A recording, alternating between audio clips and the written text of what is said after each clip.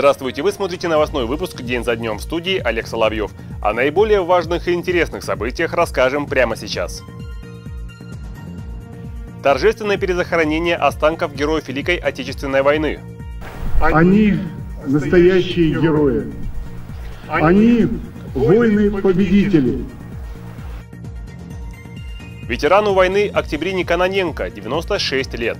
Примите самые искренние и теплые поздравления в ваш адрес. С днем рождения! Юные десногорцы познакомились с народным праздником. Детям понравилось сегодняшнее мероприятие, они узнали многое интересного, познавательного. Доля нелегальной табачной продукции в среднем по России составляет около 10%, а в Смоленской области теневой рынок табака один из самых больших по стране.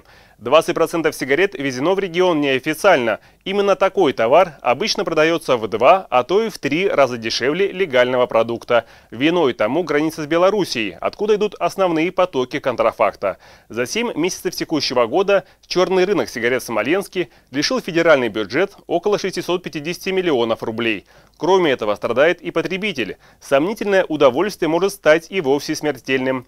Ведь неизвестно, что за смесь скрывается по знакомым брендам. Определить, легальная пачка или нет, можно по ее внешнему виду. Все надписи должны быть на русском языке, а стоимость не может быть ниже 62 рублей. 31 октября на Кургане Славы прошло торжественное перезахоронение останков 19 воинов, погибших в годы Великой Отечественной войны. Их за прошедший год в различных точках Рославского района нашли члены поисковых отрядов «За Родину» и «Высота». Об итогах сложной, но важной работы поисковиков в следующем сюжете.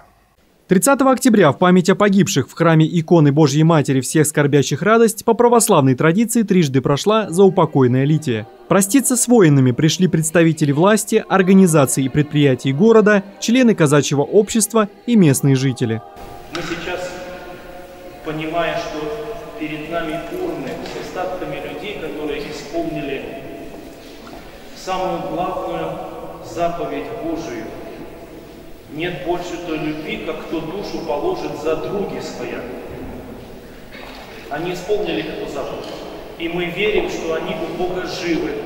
Церемония перезахоронения останков солдат состоялась на следующий день на Кургане Славы. В начале мероприятия глава города Андрей Шубин выразил признательность всем, кто помогает сохранять память о погибших героях Великой Отечественной войны.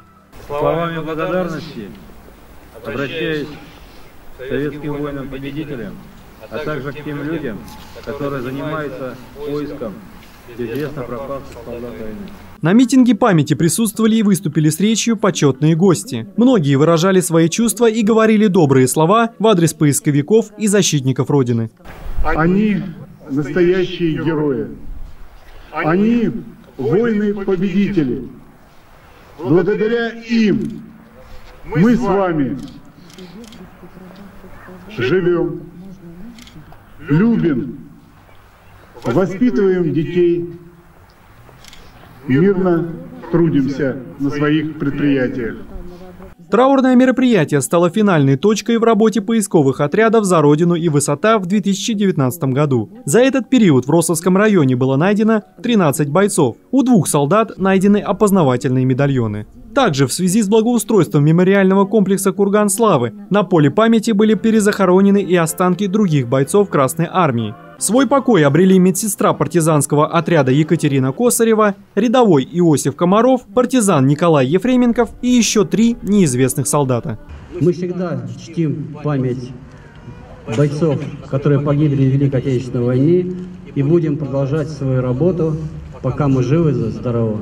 Под звуки траурных мелодий останки красноармейцев были преданы земле. После участники митинга возложили цветы на могилу солдат. Виталий Волков, Александр Ерофеев, Владислав Полоскин, Ясна ТВ. Не исключено, что россияне смогут получать рецептурные лекарства бесплатно. Такое предложение уже поддержано Госдумой.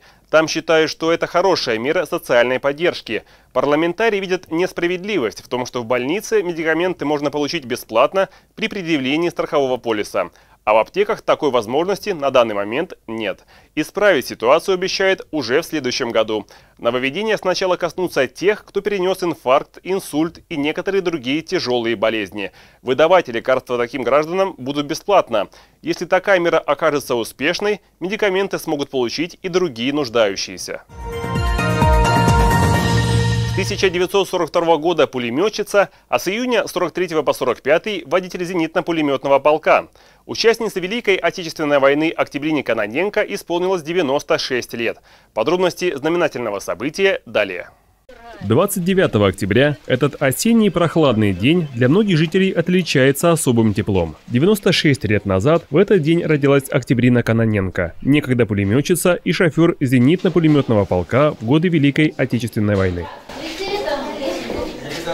понимаете? Делегация к вам, видите, какая? Здравствуйте. Вот Здравствуйте. мы к вам все пришли, Екатерина Андреевна. Здравствуйте, Добрый день, Екатерина Андреевна.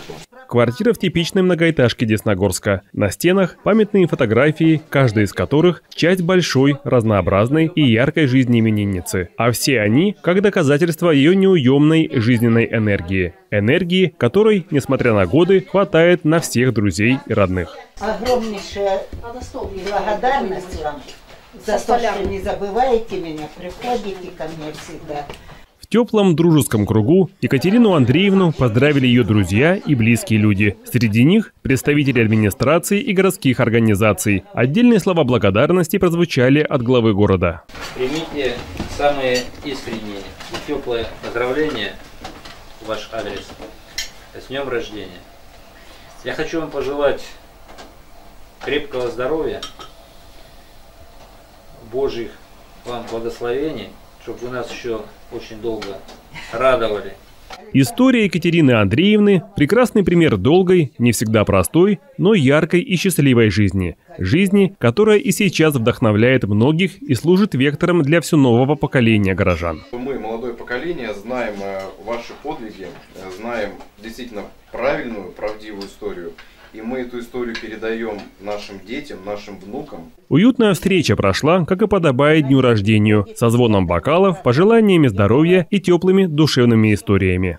Олег Соловьев, Александр Ерофеев, Владислав Полоскин, Десна ТВ. Бесплатно посещать музеи, парки культуры и отдыха или получать возврат денег за другой досуг. Эти и другие льготы есть у многодетных семей в России, но об этом знают далеко не все – так, 35% многодетных семей, согласно опросу, и не подозревают о существовании большинства таких привилегий, а пользуются причитающимися благами лишь 25% респондентов. По этой причине льготная поддержка многодетным семьям в стране считается неэффективной. Это мнение Министерства труда России. Исправив ситуацию, надеются при помощи многофункциональных центров. В Минтруде считают, что именно благодаря МФЦ можно повысить осведомленность многодетных семей о полагающихся льготах. Смогут ли сотрудники МФЦ взять на себя дополнительную нагрузку, пока неизвестно. В Десногорском историко-краеведческом музее отметили праздник, знаменующий окончание земледельческого цикла – День Феклы-Заревницы за предальницы.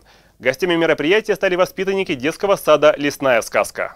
В народе праздник Феклы-Заревницы получил свое название за зарево от света, исходящего отовсюду. Уличные фонари в городах, костры в авинах, огонь в печах – в этот день жилища на Руси начинали топить. За предальницы же Феклу прозвали за традицию прясть. Это обещало везение в хозяйских делах в будущем году. Помимо этого, в этот день часто играли свадьбы. Считалось, что такой брак будет долгим и счастливым, а разлучить жену с мужем не удастся никому. 30 октября в русской избе ребята провели обряды и обычаи на праздник Феклы Заревницы. Дети познакомились с музейными экспонатами, цеп и прялка, узнали, как мужчины молотили зерно, а женщины пряли и скудели нить. Вспомнили пословицы и приметы на осенние замолотки. Также ребята отгадывали загадки, что растет на грядке, играли в русские народные игры, такие как веревочка, узелок и яша. Детям понравилось сегодняшнее мероприятие, они узнали многое интересного, познавательного.